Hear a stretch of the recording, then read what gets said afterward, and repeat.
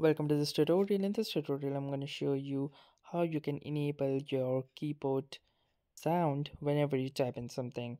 So there's, there's basically enabling the typing sound whenever you type something from your keyboard into your mobile device.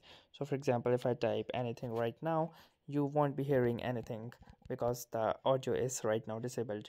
So in order to enable this, what you need to do is simply click on this icon at the left of your keyboard and once you'll click here you can see this option of settings. So simply click on the settings gear icon and once you'll go here you need to click on the preferences. So under preferences you can see this option that under the key press it states sound on key press. So simply enable this toggle and from here you can also choose to adjust the volume as well. And if you want to i will just choose the default option. And now if I try to go back and I will type something so then the key must produce some audio. So here you can see that the audio is playing and on key press you can hear the tapping sound.